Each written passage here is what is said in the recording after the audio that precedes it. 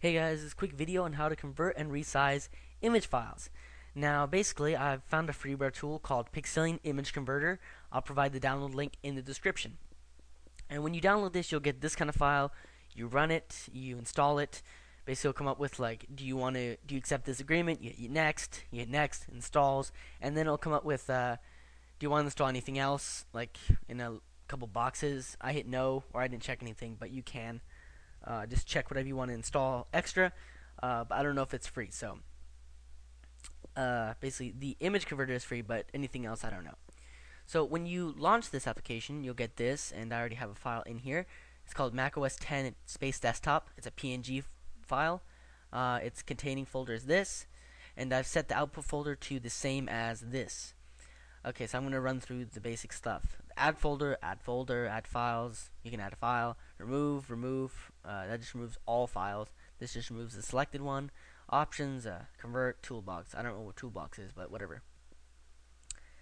Okay, so output folder is JPEG. Encoder options. This basically selects the quality of them. I'll hit 100%.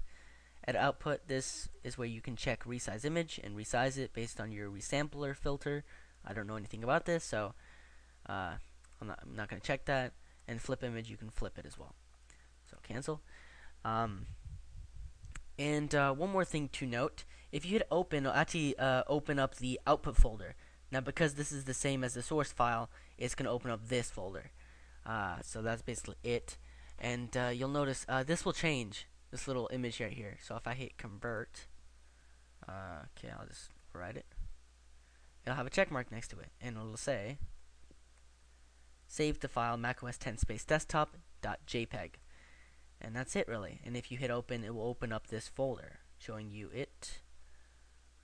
And uh, I know it's already worked, but uh, if you don't believe me, here you go. As you can see, I have two files here. Okay, so that's basically it.